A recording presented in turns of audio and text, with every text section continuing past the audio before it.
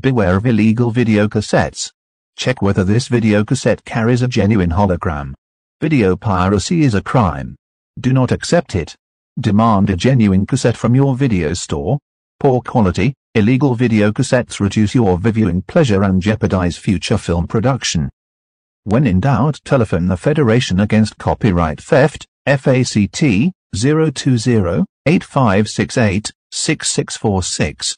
Or alternatively, if you live in Eire please contact in fact, Suffolk Chambers 1, Suffolk Street Dublin 2, Eire telephone, 01 6777